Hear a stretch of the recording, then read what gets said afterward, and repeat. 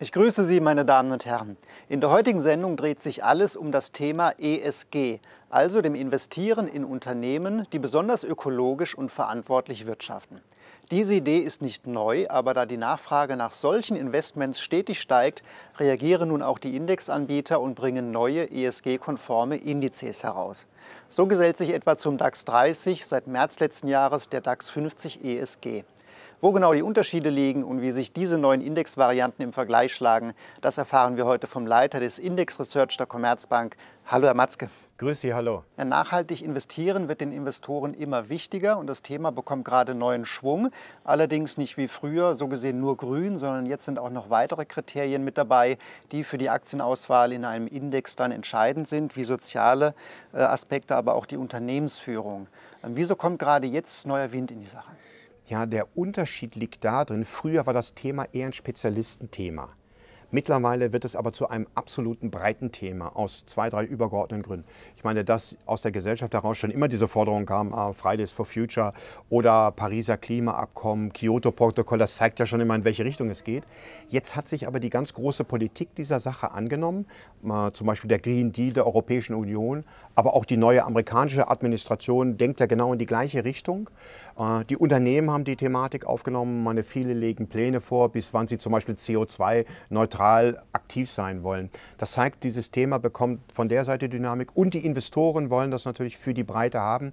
Deshalb ist es sozusagen ein Megatrend, der so richtig ins Laufen kommt. Mhm. Als Investor kann man natürlich dann auch zu ESG-konformen Indizes greifen, wie beispielsweise dem DAX 50 ESG, der seit circa einem Jahr berechnet wird und auch bald investierbar sein wird über beispielsweise Indexzertifikate. Wie sind diese Indizes denn äh, strukturiert und wie schlagen Sie sich im Vergleich zum ja, großen Bruder, dem DAX? Ja, ich brauche eine Gesamtheit, in die ich investieren kann. Und hier bei dem, bei dem DAX 50 ESG ist das so, das ist praktisch die Titel, die 30, die im DAX sind.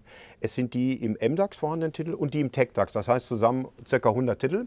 Und dann habe ich ja ESG-Kriterien. Das heißt ESG-Anbieter, die kontrollieren nach ihren Kriterien praktisch, ist diese ESG konforme Situation gegeben und dann ist eine Aktie sozusagen investierbar. Machen wir mal Beispiele. Natürlich Kohlekraftwerkeanbieter oder Atomkraftwerkeanbieter sind natürlich nicht dabei, aber auch Unternehmen, die zum Beispiel sehr stark auf militärische Güter konzentriert sind, die sind nicht dabei. Und das G Unternehmensführung, das ist eine Frage der Transparenz. Gutes Beispiel dafür im letzten Jahr war Wirecard. Also die ESG-Anbieter waren da eher skeptisch bei Wirecard, weil die Transparenz fehlte. Und man sieht ja, das Kursdesaster ist sozusagen den ESG-Indizes erspart geblieben. Auf der anderen Seite ist zum Beispiel auch VW Dieselskandal, das ist sozusagen, da fehlt auch die Transparenz. Und deshalb ist VW oft auch bei den ESG-Anbietern auch nicht dabei. Hm, kann man denn sagen, dass im langfristigen Vergleich diese nachhaltigen Indizes eigentlich dann ähnlich gut laufen wie der große äh, Bruderindex und man sozusagen keine Renditnachteile in Kauf nehmen muss im Schnitt durch diese Glättung, aber trotzdem dann nachhaltig dafür investieren kann? Also viele von den Indizes haben eine tolle Performance. Hängt auch damit zusammen, dass dass es natürlich auch die Zukunftsthemen dort oft äh, enthalten sind. Also wenn ich zum Beispiel Clean Energy habe, das heißt erneuerbare Energien oder aber Wasserstoffproduzenten, das sind natürlich auch Themen, die an der Börse so richtig nach vorne gehen. Das heißt, das findet sich natürlich dann sehr positiv. Trotzdem ist, wird es ein bisschen phasenabhängig sein. Im letzten Jahr hatten wir die Situation, dass Wirecard den DAX 30 natürlich stark belastet hatte. Da war der DAX 50 ESG outperformed, weil er keine Wirecard hatte. In diesem Jahr ist es aber so, hängt er von der Performance ungefähr 1% hinter dem DAX 30, weil der, die beste Aktie ist, sind die VW-Vorzugsaktien aufgrund der E-Mobilitätsfantasie und den Kurssteigerungen. Die sind aber im DAX 50 ESG aufgrund des Gs, was wir gerade beschrieben hatten, nicht enthalten. Also da sieht man mit Blick nach vorne, muss man damit rechnen, dass es mal Phasen so und so geben wird. In der Summe sind das gute Indizes auch zum Investieren. Mhm, kommen wir natürlich noch kurz zum DAX zum Abschluss. Wie ist Ihre Einschätzung hier? Sie hatten VW schon angesprochen, die den Index ziehen. Wo ist Ihre Gesamteinschätzung? Ja, schauen wir uns mal an. Hier ist die technische Lage für den DAX. Wir hatten ja seit 2017 so eine Seitwärtsbewegung, die immerhin unterhalb von 13.600, 13.800 über mehrere Jahre seitwärts ging. Und da sind wir mit einem übergeordneten Kaufsignal nach oben losgelaufen. Im Endeffekt mit einer Zeitverzögerung schließt man sich der sehr positiven Entwicklung, wie wir sie ja in den USA seit, seit längerer Zeit sehen, eigentlich an.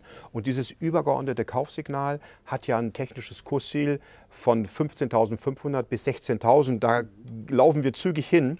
Aber aus technischer Sicht ist es wirklich ein feines Problem, wenn man im Laufe des Jahres das Kursziel anheben darf in, in Richtungen, in die man sowieso denkt. Vielen Dank, Herr Matzke, für diese Einschätzung. Ihnen, liebe Zuschauer, vielen Dank für Ihr Interesse. Wenn Sie möchten, sehen wir uns in der kommenden Woche wieder. Ich wünsche Ihnen alles Gute. Bis dahin.